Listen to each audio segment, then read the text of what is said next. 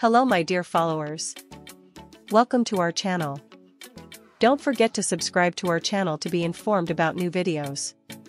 Everything you are looking for about famous Turks is here. One day, a mysterious message shared by the famous actor Can Yaman on his social media account attracted the attention of his fans and the media. The content of the message was first he insulted, then. And it became a matter of curiosity what lay behind these words. The news spread quickly and everyone tried to understand what Can Yaman was implying. Some people thought that these words pointed to an argument he had with another famous name. Others claimed there were hints of a movie or TV series project.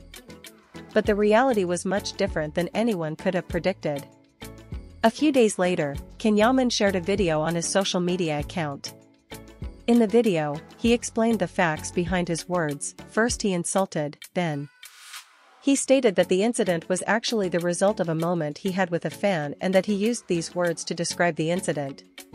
Can Yaman explained that he was harassed by a fan while leaving the set that day and he reacted to this situation.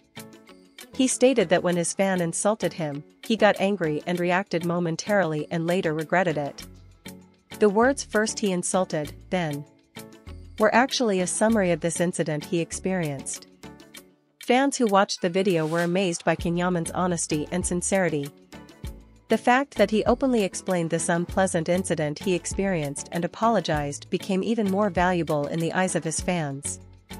At the same time, their support for Can Yaman increased after this incident. This statement of Can Yaman caused great repercussions in the media and social media. When the true purpose of the incident was revealed, the questions in everyone's mind were resolved and negative speculations ended. This would be remembered as a demonstration of Can Yaman's honesty and courage.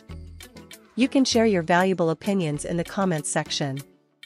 Don't forget to subscribe and turn on notifications for more videos. See you in the next video. Take care of yourself. Goodbye.